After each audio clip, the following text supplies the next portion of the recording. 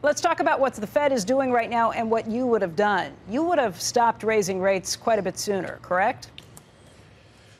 Yeah, well, thanks for having me on, Becky. I, I, I would have. I, I continue to worry about risks, and I think there's downside risk to uh, on the growth side from what's going on around the world, and there's downside risk uh, to inflation uh, that, again, partly from around the world, but just internally, we just have not seen that that strong inflation push that I would like to have seen. So I, I would have, I would have uh, been much more cautious about raising rates in 2018 than the Fed was. The Fed sounds like, for now at least, it's probably going to be on pause, although it does sound like it will continue to shrink the balance sheet. Um, is that the right move? Yeah, so I'm not quite sure why they're shrinking the balance sheet. Um, you know, I think they're going to need a big balance sheet the next time a recession comes. So, uh, and and as the economy grows, you're going to want that balance sheet to grow uh, in lockstep in order to have the, the tools you want for, for when the next recession comes. So I, I'm not sure why they're shrinking the balance sheet. I like the, frankly, I like the autopilot part of it, but I'm not sure why they're why they're shrinking it. I, I guess the point I, was that these were emergency measures, and if we've moved out of emergency period of time, maybe you want to get back to some semblance of normalcy. Yeah, I I, yeah, there is. I, I, you know, when I, back when I was in the FOMC, we talked a lot about trying to get back to 2005 and 2006. I think we have to recognize the world is a, is a different place. It's a world where interest rates are going to be low. Uh, looks like for a long time to come, and it looks like it's a place where you're going to need your balance sheet tools if there's ever a recession. So you might as well be ready for that now uh, by, by by keeping, I think, a, a big balance sheet you know, part of the argument that's been out there, and, and, again, I won't necessarily agree with any of this, but part of the argument that's been out there is you've got to raise rates so that you have a little bit of dry powder the next time the economy comes down. Next time there's a, a recession, what is the Fed left to do if we've already employed all these emergency measures and left them out there uh, continually?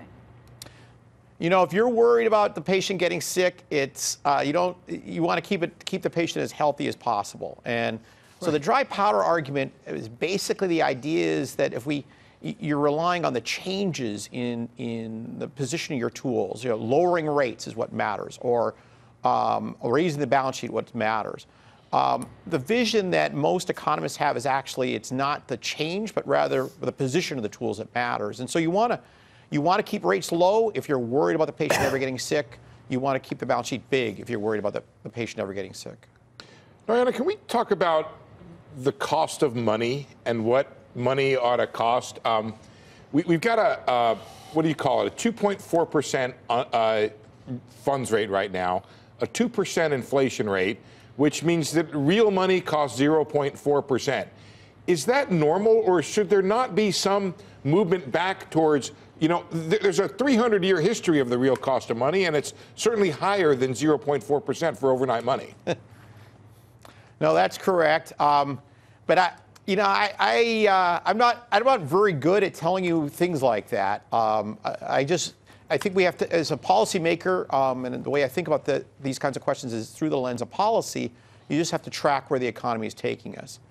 You know, if you look at the estimates of the natural real rate of interest that Laubach and Williams have done, those follow a random walk. And what that means is they can go up and they can go down, and uh, it's there's a lot of variation. And if you look over the next 10 years of where we might we might end up with the, the, the real real rate of natural real rate of interest, it might be very low, uh, even lower than it is today, or it might be higher.